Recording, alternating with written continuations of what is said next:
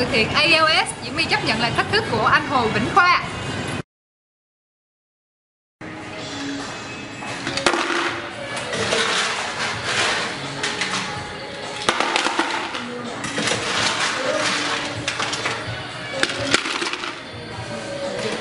Okay.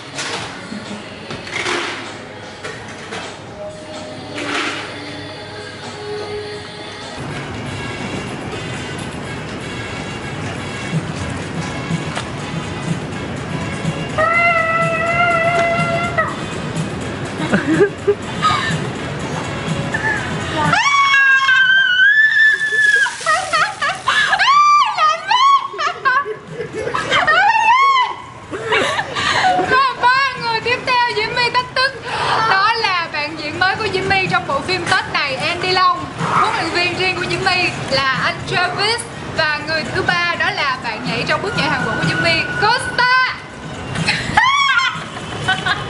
có nhảy xuống luôn không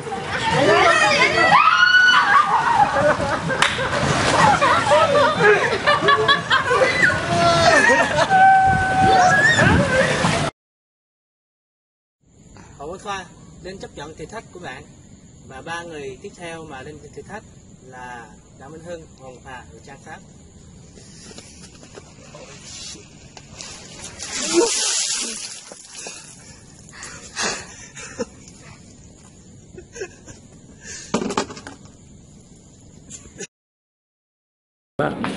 Xin chào mọi người, thông qua hội từ thiện ALS Ice Bucket Challenge, Khoa chấp nhận lời thách thức của Reddit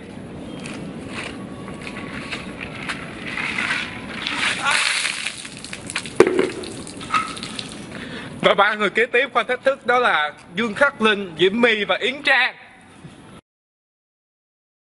Trang công nhận thử thách của Hồ Vĩnh Khoa.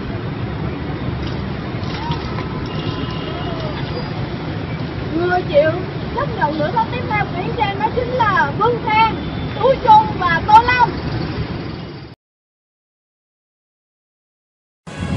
Thông qua hội từ thiện ALS, Diễm My chấp nhận lời thách thức của anh Hồ Vĩnh Khoa.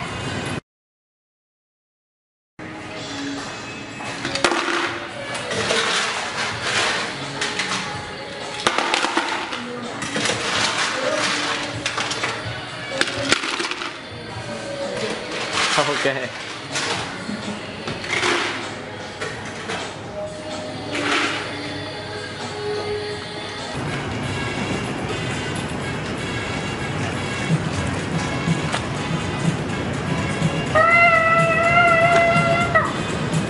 Và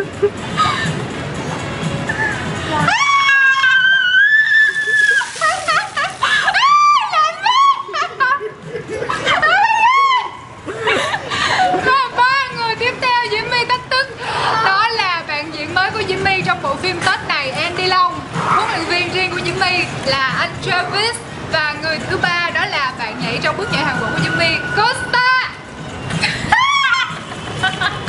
Có nhảy xuống luôn không?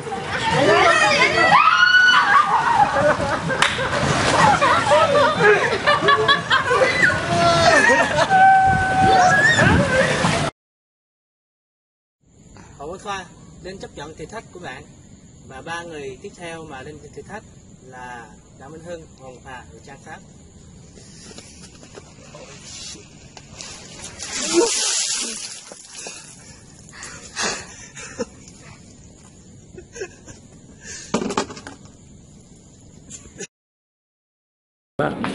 Xin chào mọi người, thông qua hội từ thiện ALS Ice Bucket Challenge, Khoa chấp nhận lời thách thức của Reddit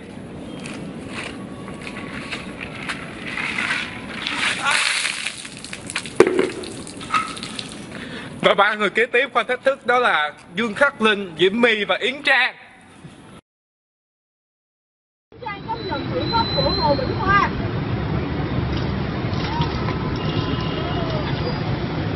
Người chịu chấp nhận thử thách tiếp theo của Yến Trang đó chính là vương Khang, Tú Trung và Tô Long.